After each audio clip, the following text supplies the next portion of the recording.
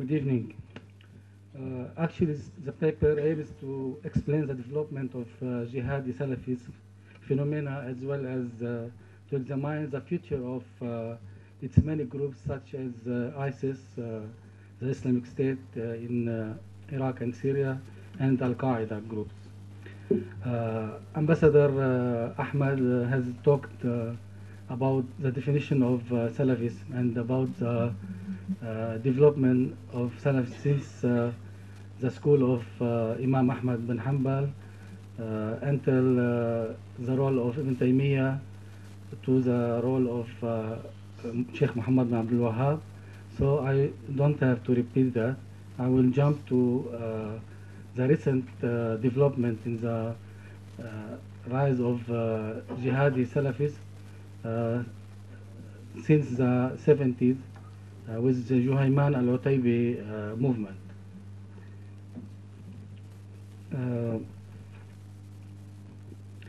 so the relationship with uh, between uh, the Saudi prince and uh, Abd bin Abdul Wahhab family, which uh, represents the Wahhabi institution in Saudi Arabia, was based on power sharing and the har- harmony between uh, the two uh, parties, the Saudi house and the religious uh, institution, was the cornerstone of the stability of the Saudi Arabia. While the fracture of this relationship could lead to the division of uh, the kingdom and uh, its instability. However, the Saudi ruler, since the establishment of uh, the third Saudi state in uh, 1932 with uh, King uh, Abdulaziz ibn Saud, have uh, attempted to modify the orientation and objective of Wahhabism. Before King Abdulaziz bin Saud, the Wahhabi clerics and Wahhabi uh, army of Ibn Saud, they were trying to expand their uh, intervention in Iraq, in uh, other countries, in Bahrain. So, uh, due to British uh, uh, intervention, they limited their intervention in, into the Peninsular Arabia, which they controlled and announced their kingdom in uh, 1932. Uh, Saudi state has witnessed during the last uh, century challenges from within uh, the Saudi Wahhabi institution, especially from Al Ikhwan, which was the name of uh, the army of Ibn Saud. Al Ikhwan means brotherhood, and this doesn't belong to the Muslim Brotherhood uh, in Egypt uh, of Imam Hassan al Banna. So the name of Ikhwan started with uh, Wahhabi army of uh, Ibn Saud. So uh, this army or Ikhwan, they challenged the uh, rule of uh, Ibn Saud. They wanted it to go back to return to the teaching of Imam Abdul Wahhab, and uh, so he asked the uh, Wahhabi clerics to intervene and convince this Ikhwan to uh, stop their uh, claims and demands. When the Sheikh uh, failed to convince uh, Ikhwans to do that, uh, King Abdulaziz announced uh, his war against the army and he succeeded to defeat them in 1929. So that was the first challenge from uh, Wahhabi institution or Wahhabi uh, clerics uh, and followers uh, towards the Saudi role. The second one, uh, in the 70s, uh, a Wahhabi group inspired by Al Ikhwan experience uh, called Al Jama'a Salafiyya Al Muhtasiba was founded by uh, Juhayman Al Utaybi to revive the Wahhabi principle. So in November 1979, a dozen of this group have uh, seized the Holy Mosque in Mecca, and uh, this attempt uh, was failed because uh, military intervention by Saudi and Western uh, commando, and uh, they killed the, the, the members of leader of this uh, attempt, and they executed the others, like Juhayman al-Utaybi, who they didn't uh, get killed in the battle. But the most important attempt of reviving the Wahhabis in Saudi Arabia was by Al Qaeda, uh, led by Osama bin Laden since 1998. Uh, uh, but after the September 11 uh, attacks in 2001, uh, and we know that the United States has launched a war against uh, Al Qaeda and Taliban regime in uh, October and November 2001. That led to the uh, uh, defeat of Al Qaeda and the fall of uh, Taliban regime, and that helped Saudi Arabia to to be saved of uh, Wahhabi uh, revival inside Saudi Arabia, inspired by Al Qaeda or Osama bin Laden. Uh, later, the American invasion in Iraq in 2003 created convenient conditions for the jihadi Salafist groups to operate against the occupation forces and the Iraqi forces as well as Muslim Shia in Iraq. Uh, in 2006, uh, Abu Mus'ab Zarqawi formed what they called uh, Al-Qaeda fi Bilad al-Rafidain. Al-Qaeda means in Iraq. And this was like uh, the first founding of uh, ISIS group and he focused on uh, targeting Shia, Muslim, and other like uh, Iraqi uh, official or Iraqi army, or even some Sunni who doesn't, who are uh, involved or with the political new political regime of Iraq. After the killing of Zarqawi by the American forces there was uh, he was succeeded by uh, Abu Umar al-Baghdadi and then later uh, with Abu Bakr al-Baghdadi. So Bakr al-Baghdadi he formed in 2013 ISIS, the Islamic State in Syria and Iraq, and expanded his uh, rule to Syria uh, after he formed Jabhat al-Nusra, al-Nusra with uh, Abu Muhammad al-Julani. He sent him to Syria to help the Syrian uh, people against the uh, Syrian regime, and they call it Jabhat al-Nusra. They didn't call it Al-Qaeda to not uh, frighten the people or the uh, West or the who is uh, maybe uh, the other country who are supporting the Syrian revolt. Later, uh, there was like uh, a conflict between uh, uh, Zawahiri and Baghdadi. Zawahiri, uh, because of uh, claims from Muhammad Julani, he doesn't want to give bay'ah, allegiance to Abu Bakr al-Baghdadi. So he asked the mediation from Zawahiri since he is the emir of Al-Qaeda and al-Baghdadi is supposed to obey and listen to Zawahiri.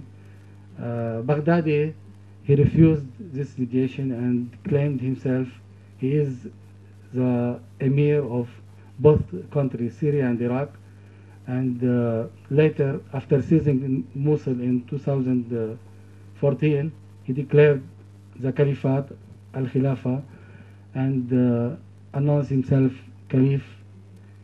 That means uh, that all Muslims in the all around the world they should obey uh, the Caliph as Sunni Muslim believe. And this challenge all Muslim states and all uh, neighboring countries because uh, as Sunni Muslim, most of Sunni Muslim school uh, believe because historically they should obey the, the Caliph even if he's not just because uh, when someone announces Al-Khilafah, the other should obey. He's just is not just he's uh, capable of not capable it's not important. Even Sheikh uh, uh, Qaradawi is very known scholar and he supports the Muslim Brotherhood. Uh, so when uh, uh, Baghdadi announced his uh, Khilafah he didn't say Khilafah is not just issue or it's not on time but he said the, uh, Baghdadi is not the right man for this position. Otherwise, he would support him. So, since we don't have time, I will uh, talk about future of ISIS uh, after the recent development in Syria and Iraq. Uh, we have seen uh, many victories of the Iraqi uh, army in Tikrit and Ramadi, and uh, and many progress for the Syrian uh, army and its allies in uh, Syria, North Syria, Lat- Latakia, and the Idlib countryside, as well as in Damascus countryside, and for the Kurds and what they call democratic coalition, supported by uh, American uh, in uh, Haske and Kamishli. So now I believe ISIS is declining, despite that we are seeing many uh, terrorist attacks from ISIS in uh, many countries, uh, from France to Tunisia or Libya or Egypt or Lebanon. But this is uh, somehow a revenge from ISIS, not uh, uh, it's not like a sign of strength. It's just revenge because ISIS has lost a lot of uh, militants. They got killed by uh, Russian strike, by uh, American and the international coalition strikes, and even by the Iraqi and Syrian forces on ground. Uh, also, uh, ISIS has lost a lot of its uh, funding by by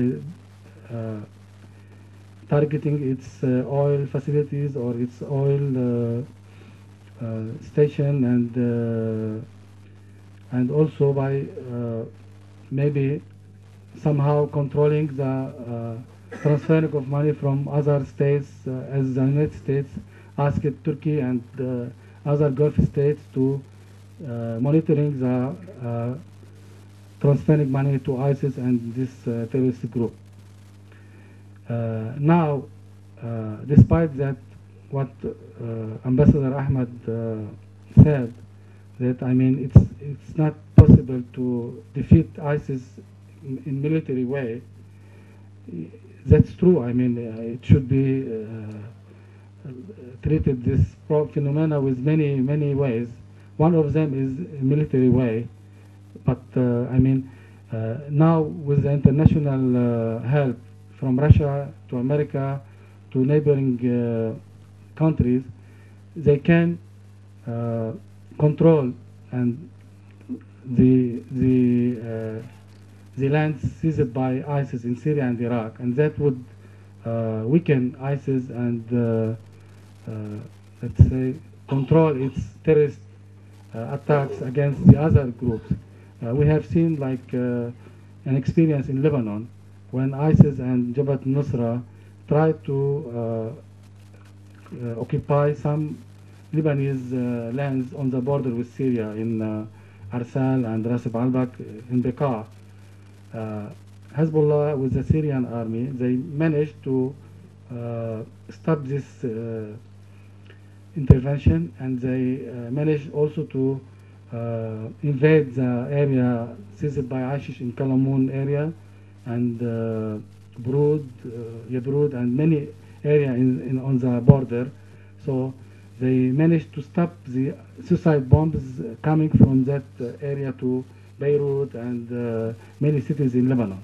So uh, controlling this area now seized by ISIS will diminish the terrorist attack by ISIS, will not stop it, but will diminish it and will stop the extension of uh, ISIS in to other lands. But uh, what we need also is uh, cutting funds to ISIS and other groups from uh, neighboring country, denying any access of arms or fi- fighters to Syria and Iraq uh, through Turkey or through uh, Jordan or other uh, states. And also, we need uh, reform in the education system and in the religions, religious institution uh, because we need to teach the preacher who they are teaching Muslim in the mosque uh, two issues.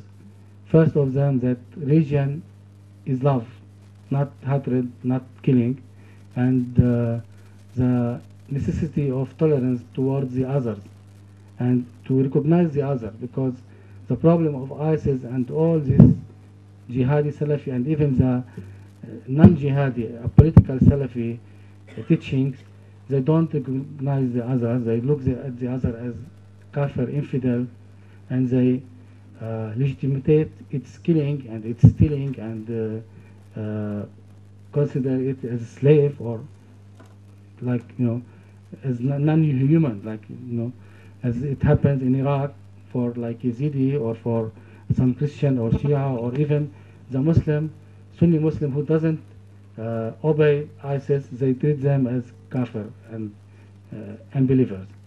So thank you for your uh, listening. Thank you very much.